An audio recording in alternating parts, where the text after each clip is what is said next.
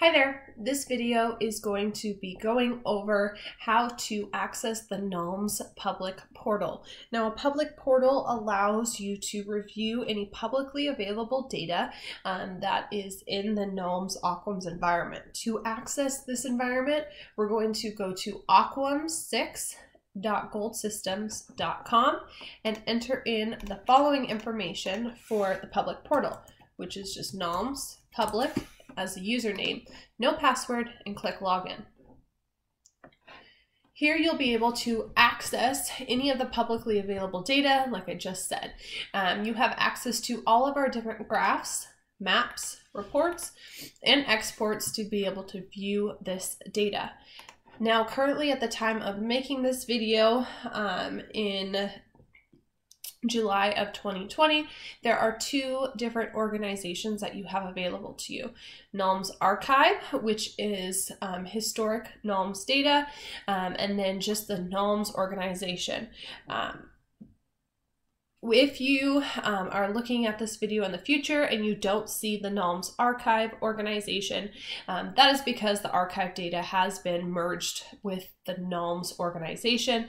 Um, so you will still be able to review all of the previous data um, under that NALMS organization. If you still see both organizations at the time of reviewing this video and you're in the public environment, um, then these steps will apply um, for having the two different organizations.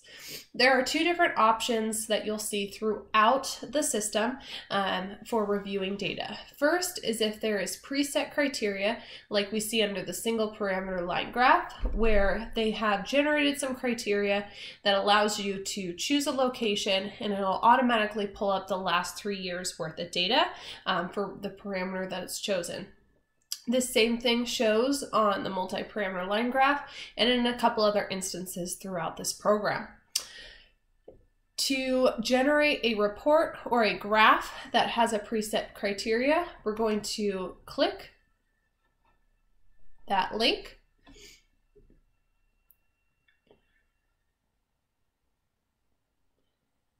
A map of all the NALMS locations will generate. Sometimes it takes a minute depending on the speed of your internet because there is a large number of locations. Bear with the computer. Then we're going to go ahead and zoom in and select our locations. To select our locations, we're going to select with a polygon at the top of our screen here. I'm going to choose all of Utah If your polygon, if you're not happy with it, you can always clear your polygon and start over. So in that case, I wasn't happy with my boundaries. So I'm going to click select with polygon again and grab those Utah locations and click accept locations. Now I have these locations present we're going to see our other search criteria, our parameters available, and then our options tab. So these are different options. You can skip uh, right to creating a graph if you have a parameter seen. If you don't see a parameter right away, click refresh parameter list. Now, if you still don't see any data, it may be that your date range is too small. Um, so we're going to go ahead and extend this out to five years. Click create graph again and now we'll see some data. It's not that there isn't data that has been taken in the last three years. It may just be that it hasn't gone through the full QA process and isn't publicly available. If you're looking for a particular uh, data set that you're not seeing in the public portal, reach out to a NALM staff member and they can guide you into where um, is the best place to look up that data or provide you with some sort of export. Here we are. Um, we're going to go ahead and choose our depth for our Secchi disk and click Create Graph, and a graph will populate. Here, this graph has one location that is showing data in this time frame. Um, just because we have a very large time frame, we can see our graph is a little askew. So what we're going to want to do is to zoom in and out by using the scroll mouse on your mouse scrolling in and out to zoom in more on our particular location in concern. If we hover over the points, we'll see a date and a time that the sample was taken and the measurement. Um, if we hover over this, uh, if you have multiple locations, um, hovering over the key will highlight the location concern. Again, this is more of a issue or a feature if you have more than one location on a graph. You can change the color scheme if you wanted to, um, to something that is more appropriate for you. However, if you do change the color scheme, you will have to zoom back into your graph um, to get the angle that you want to see. Um, if you would like, you can save these as an image or as a PDF um, and also just export this data to Excel um, to do your own analysis if you would like. Now let's talk about how we would utilize other features of the portal by generating our own graph. So I'm going to click return and it's going to take me back to this previous page. And let's try another graph. And uh, let's just do a let's do a default search criteria under the multi-parameter line graph. So this is what a default search criteria looks like. This, this default search criteria is the same methodology no matter where you are at in the public portal. So if you're creating a graph or creating a report or creating an export, it's going to be the exact same way. So these steps apply. Um, so don't panic if you're jumping to a report and you don't see um, a second video uh, going over the exact reports. It's the exact same process. So first we're going to select our locations. We could select it from a list um, using this list page icon here, or we can select it off the map like we just did on the previous slide, or we can copy and paste in your monitoring location IDs that you want to see. I would recommend either using the magnifying glass to review a list of locations or the map. Because we reviewed how to grab your locations off the map on the last example, I'm going to go through the list page and show you how to do it there. So first we need to select what organization we want to see. Is it the newest data or old data? I'm going to select that older data, so pre-2019. And then I'm also going to filter this down even further. I'm going to select a state that I want to see so I don't have just a big running list. So here's my state that I want to look at. We could get even more specific and go to our county that we want to see. And then we can click search.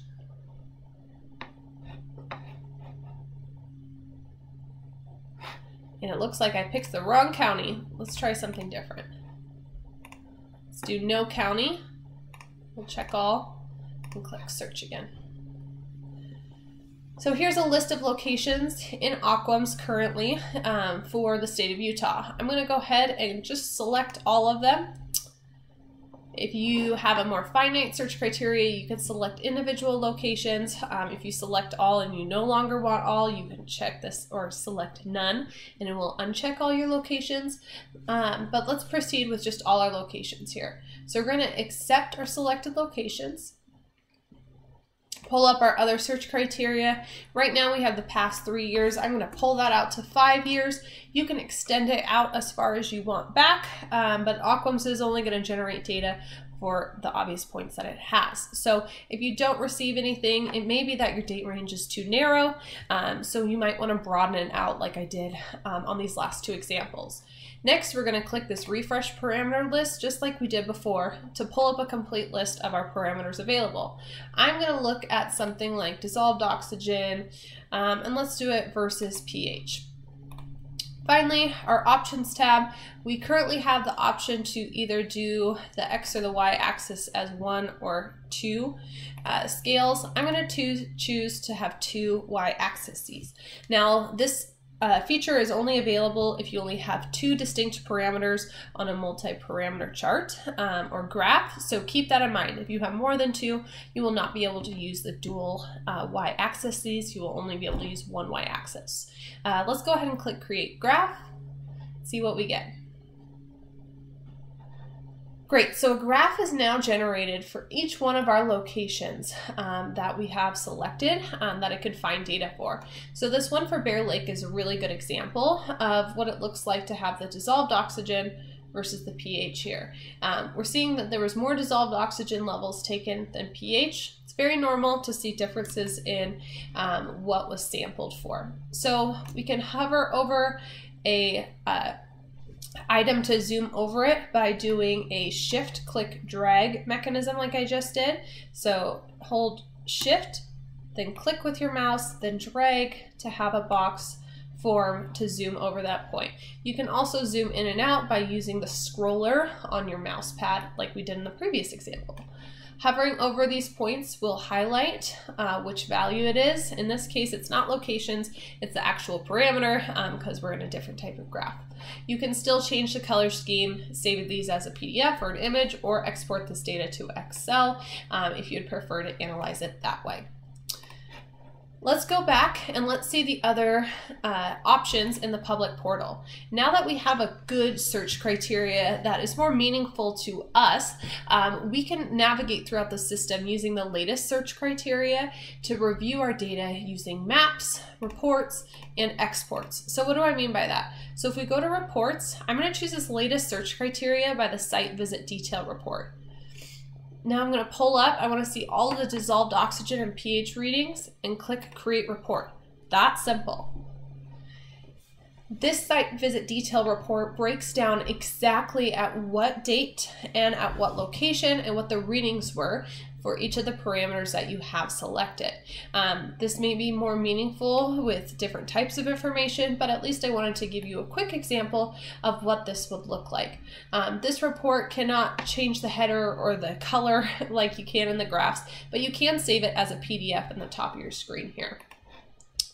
We click return again, we're going to take us back to the previous page and utilizing that latest search criteria, you can go back um, and use any of these reports. Like I said, um, quickly generating these reports, creating creating these reports uh, that will tell you exactly um, the type of information you're looking for. Again, that may be more meaningful for you um, than the canned search criteria that is available. Exports are also available. These are exports um, in Excel of different information. It may just be um, straight exactly your results. That would be a crosstab or a standard or a standard abbreviated export. Or there's the option to do re result summaries, which give you more broad summary information about the NALMS data as a whole and not specifically based off a location. If you have any questions or concerns, please feel free to reach out to the NALM staff or at awqms at goldsystems.com and we'd be happy to assist you.